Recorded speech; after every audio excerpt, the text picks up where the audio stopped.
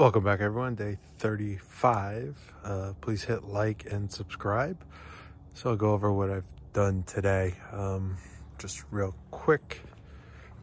Um, put in the outlet for the uh, 30 amp plug. Um, I would be plugged into it, except I forgot the pigtail in the other trailer. So I have to go get that and test it out, but real simple. Just ran it through. I got to clean up the wire and then that goes to the transfer box there. Um, one's 15 amp, one's 20 amp. So one's dedicated to the air conditioning for an outlet and then then the rest run to this one that's 15 amp and then it what I'll do is I will pigtail from these to all the outlets and if I'm not somewhere I could hook up the shore power I have the inverter um, so that's kind of it. And then this, my charger, I did a Power Max 55, was just basically stay in there um, once you're plugged into shore power.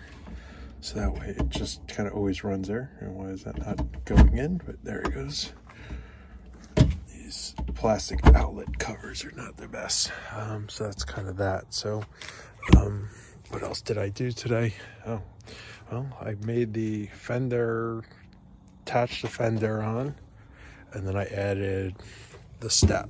Um, so that's just kind of sitting there now. Uh, used the Harbor Freight Titanium 125, and then I actually got a Cut 50 plasma cutter. So that was kind of nice to, rather than grinding, angle grinding down the whole side, um, went really quick. Um, not the best at cutting straight lines, but um, I used a board actually and just kind of did that.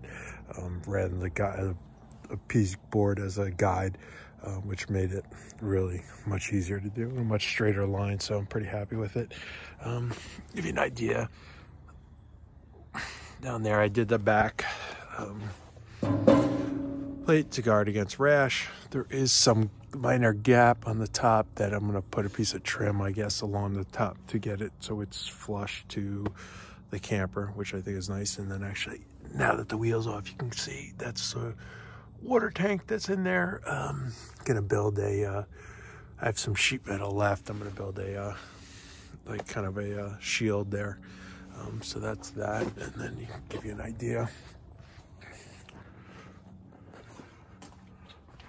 And then basically, well, I close to identical on the other side. Um, so that came out pretty easily um, and welded on there. I think this I'm just going to leave blank just as like kind of a one foot step. Um, I don't think it needs anything there. It kind of would be difficult to weld anything to because I'd rather keep as much space away from the camper as possible. Plus it's hard to weld against fiberglass um, didn't even get really too close and you can see it's kind of scuffed up but I'm going to cover that up with some uh, aluminum stripping so that'll cover the white that's not quite painted and also um, you know like a touch up with any of the paint. Next thing I had to do is cut the tire the spare tire with a plasma cutter. Hopefully it goes through. It is just a on a 110 um, just got to measure and then kind of figure that out. So that should be decent. It's 3 eighths inch thick. Um, what else did I do today? That's about it. Tomorrow is going to be finish up the steps and then I'm going to add the trailer lights on. Um, goal now is to get the trailer lights on. Um, Got to mount all those. Um, I have some, you know, the uh, side markers and stuff like that. So hopefully I can get all those taken care of and done tomorrow. And that way I could start getting the homemade trailer registered here in Pennsylvania. Um, so you have to get it inspected and everything else. So while I'm waiting on that process, I could finish up the back camper and the kitchen the, or the galley, excuse me. Um, I could take you inside. I don't pretty much in every video, but you can kind of get an idea. Just dusty, so.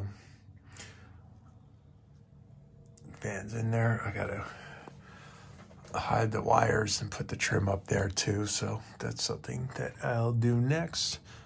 Um, any questions, anything else, please let me know. Um, look forward to helping the next person build. I know a lot of people have been helpful to me, so um, it's been kind of a process.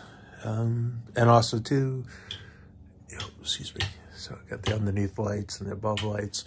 Um, and that's basically it. Any questions, any concerns, any recommendations, please let me know and look forward to answering all your questions. Thanks a lot and please hit subscribe.